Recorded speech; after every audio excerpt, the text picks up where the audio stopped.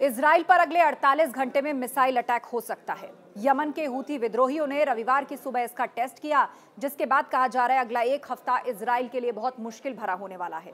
दरअसल टेस्ट के दौरान यमन के हूती विद्रोहियों को यह पता चल गया कि इसराइल का मिसाइल डिफेंस सिस्टम उनकी मिसाइल को ट्रैक कर पाने में फेल रहा है।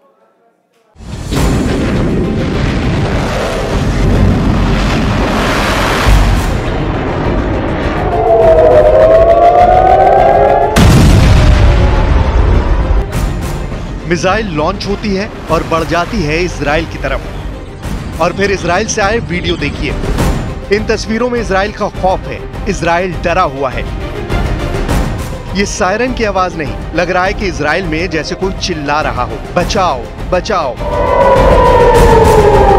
क्योंकि इसराइल पर हुआ है एक ऐसा हमला, जिसने इसराइल की तमाम सुरक्षा की गारंटी को फेल साबित कर दिया है।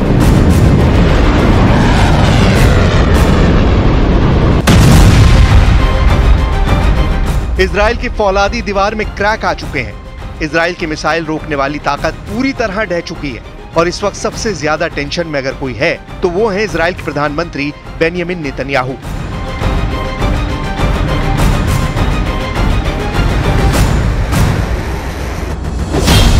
क्योंकि यमन से हुए हमले पर इसराइल का मिसाइल डिफेंस 100 परसेंट फेल हो गया। इसराइल को बचाने वाला अमेरिका इस हमले को नहीं रोक पाया। इससे पहले इसराइल की तरफ़ जाने वाले ड्रोन और मिसाइलों को गिराने वाले तीन अरब देश, सऊदी अरब, जॉर्डन और मिस्र भी पूरी तरह फेल हो गए।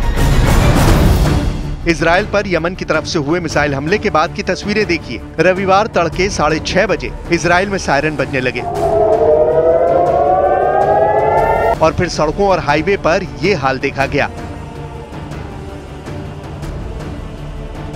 लोग बचने के लिए ऐसे छुप रहे थे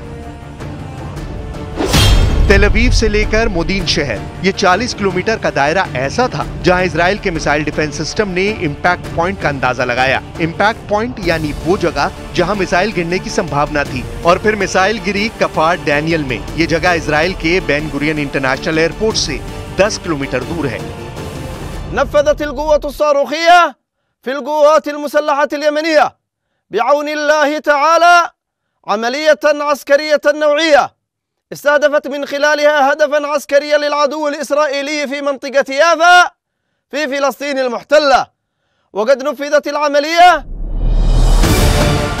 यमन के हूती विद्रोहियों का दावा है कि मिसाइल ने 2040 किलोमीटर का सफ़र 11 मिनट 30 सेकंड में पूरा किया। ये एक हाइपरसोनिक बैलिस्टिक मिसाइल थी, यानी इसकी रफ्तार थी एक सेकंड में तीन किलोमीटर। यमन से लॉन्च होने के बाद ये ऐसी ट्रेजिक्ट्री में इसराइल की तरफ़ बढ़ी तो लाल सागर के ऊपर से जाकर अपने टारगेट तक पहुँची। यमन से लॉन्च होने के बाद ये ऐसी ट्रेजिक्ट्री में इसराइल की तरफ़ बढ़ी तो लाल सागर के ऊपर से जाकर अपने टारगेट तक पहुँची। इस दौरान लाल सागर में अमेरिकी जंगी जहाज़ के एंटी मिसाइल सिस्टम इसे नहीं रोक पाए सऊदी अरब और मिस्र भी देखते रह गए और आखिर में जॉर्डन के अलावा इसराइल भी इस मिसाइल को रोकने में नाकाम साबित हुआ אנחנו במערכה רב-זירתית מול ציר הרשע של איראן שחותר להשמדתנו.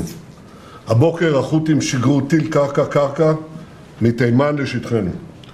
הם כבר היו צריכים לדעת שאנחנו גובים מחיר כבד על כל ניסיון לפגוע בנו. מי שזקוק לתזכורת בעניין זה, מוזמן לבקר בנמל חודדה.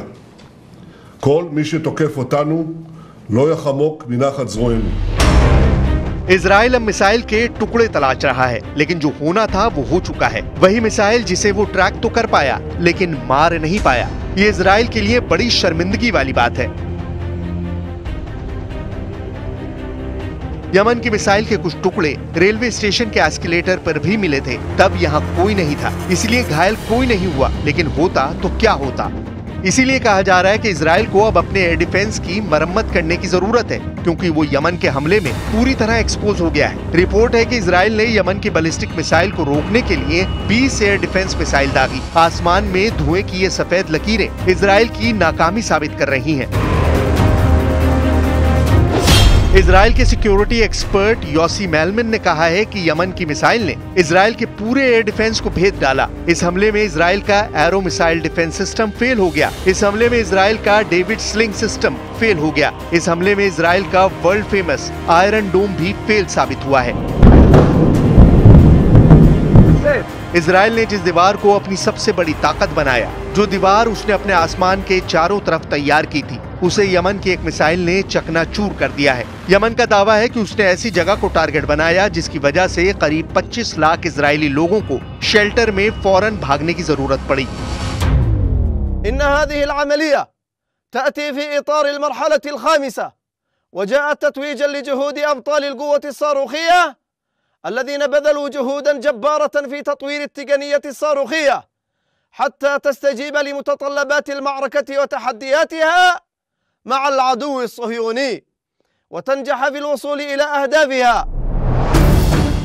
ऐसे कई मिसाइल हैं जिन्हें यमन के हूती विद्रोही अपनी परेड में दिखाते रहे हैं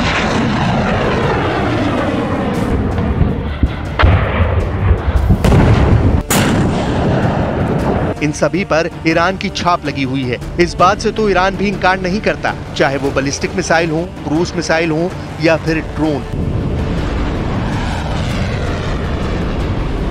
हूती विद्रोहियों के पास बहुत से ऐसे हथियार हैं, जो उसे ईरान के ज़रिए ही मिले हैं। यमन के हूती विद्रोहियों को ईरान का समर्थन इसराइल का दूसरा बड़ा खौफ है। इसराइल का डर इस हमले से और ज़्यादा बढ़ गया है। इन हथियारों के साथ यमन के हूती विद्रोहियों की सबसे बड़ी डिमांड है कि वे इसराइल गाजा पर बमबारी बंद करें। जब तक ऐसा नहीं होगा, वो इसराइल पर हमले करते रहेगा।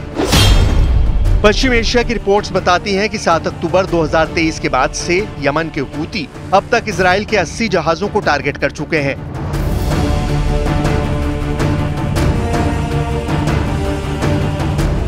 यमन के हमले ने युद्ध के दायरे को 10 गुना बढ़ा दिया है। पश्चिम एशिया से अमेरिका की ज़मीन तक इस हमले की धमक सुनाई दे रही है। सबसे बड़े खतरे की घंटी अब संयुक्त राष्ट्र में भी लगातार बज रही है। To Gaza as the war continues to inflict unspeakable suffering on hundreds of thousands and has extended its destabilizing effects across the broader region. These destabilizing effects, Mr. President, have also affected Yemen negatively. Ansar Allah has continued attacks on vessels in the Red Sea, threatening regional stability and international maritime security. Israel के प्रधानमंत्री Benjamin Netanyahu की बेचैनी बहुत ज़्यादा बढ़ गई है। Israel में यमन की तरफ़ से हमलों के बीच नेतन्याहू को अब अपने तेल के कुओं की चिंता सता रही है, क्योंकि यहाँ पर हमला रोकना आसान नहीं होगा। डर है कि यमन के हूती अब इसराइल के तेल के कुओं और गैस फ़ील्ड पर हमले की तैयारी कर रहे हैं।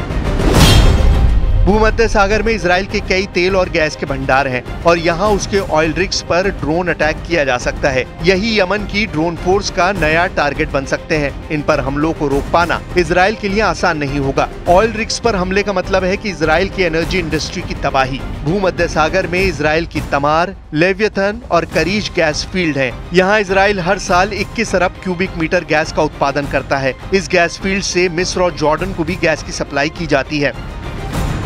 19 जुलाई को जब तेलवीव में आधी रात तीन बजे हमला हुआ था, तब धमाका बहुत बड़ा था। किसी को समझ नहीं आया कि आखिर हुआ क्या। सड़कों पर लोग बदहवास हालत में नज़र आए। इस हमले में एक व्यक्ति की मौत हुई थी, जबकि 10 लोग जख्मी हुए थे। तेलवीव में अफरा तफरी मच गई। ड्रोन से हुए इस धमाके ने इसराइल को बुरी तरह हिला कर रख दिया।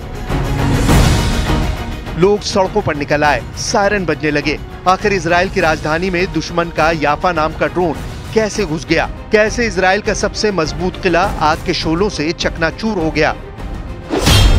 याफा ड्रोन के बारे में कहा जा रहा है कि ये ईरान से मिले ड्रोन की नकल है। इसका असली नाम समद थ्री है। इस ड्रोन की रेंज 2000 किलोमीटर है।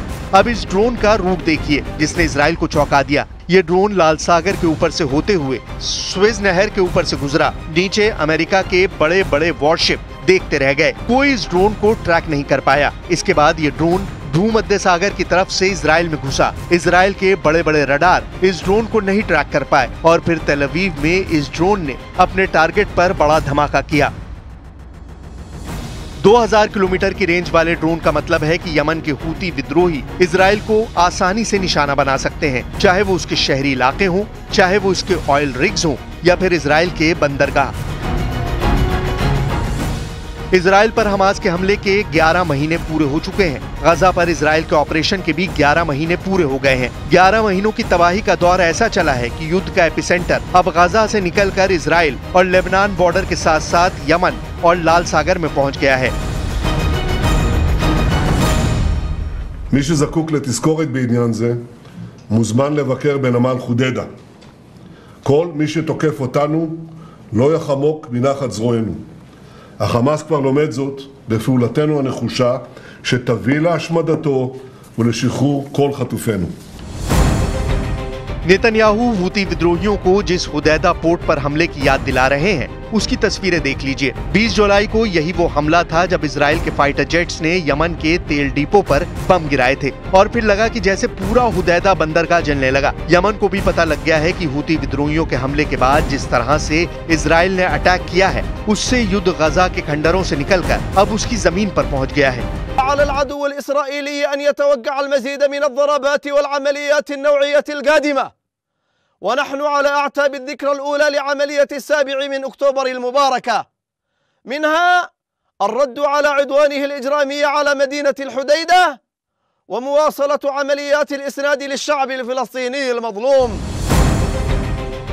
इसमें कोई शक नहीं है कि यमन का गुस्सा सातवें आसमान पर है और यमन की पब्लिक इस गुस्से का इजहार भी कर रही है। गजा को लेकर फैले आक्रोश में अब यमन सीधा इसराइल के खिलाफ युद्ध शुरू कर चुका है। इससे पहले हूती विद्रोहियों ने इसराइल पर ड्रोन और क्रूज मिसाइल से कई हमले किए, लेकिन 15 सितंबर का हमला ज़्यादा खतरनाक है। इसमें यमन की बैलिस्टिक मिसाइल ने इसराइल के एयर डिफेंस को चीर डाला है और अब इसराइल महसूस कर रहा है कि उसकी सबसे बड़ी ताकत खत्म होती जा रही है।